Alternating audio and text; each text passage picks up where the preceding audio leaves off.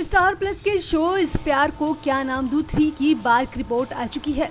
और जैसी की आशंका थी कि ये सीरियल फिर से गर्त में ही जाता दिख रहा है। वैसे तो बार की रिपोर्ट हर थर्सडे को आ जाती है, मगर इस बार जन्माष्टमी और 15 अगस्त की छुट्टी की वजह से रिपोर्ट जरा लेट आई है। इसलिए हम भी आपको बताने में जरा सा लेट हो गए। खैर, ये रिपोर्ट इस शो के पाँचवे हफ़्ते की है। और पाँचवे हफ़्ते भी इस प्यार को क्या नाम दू, कोई भी कमाल दिखाने में पूरी तरह फेल साबित हुआ है। टीआरपी की डिटेल बताएँ उससे पहले बता दें कि आईपीके के एनडी थ्री से दर्शक जुड़ने को कतई भी तैयार नहीं है। भले ही शो की मेकर गुल खान दर्शकों को जोड़ने के लिए हर संभव कोशिश कर रही हैं, मगर गुल खान की हर कोशिश नाकाम साबित हो रही है। शो के प्रोमो में दिखाया जा रहा है कि मीका सिंह शो में आएँगे। इसके अलावा विपाशा बसु और करण सिंह ग्रोवर का तड़का भी डालने की पूरी तैयारी है।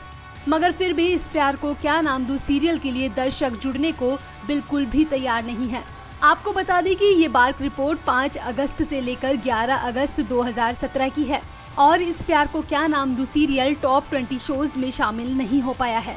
रिपोर्ट्स की माने तो भारत में इस प्यार को क्या नाम दू के दर्शक बेहद कम है।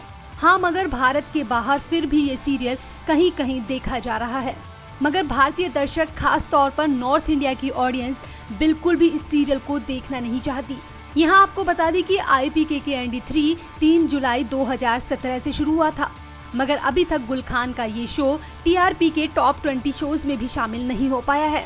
वहीं आई पी के के एंडी थ्री के साथ ही एकता कपूर का भी एक नया शो ऑन एयर हुआ था, मगर उसकी टीआरपी कमाल की है। हम आपको हमारी अगली रिपोर्ट में उस शो की खासियत और टीआरपी के बारे में बताएँगे। So stay connect with us flame media report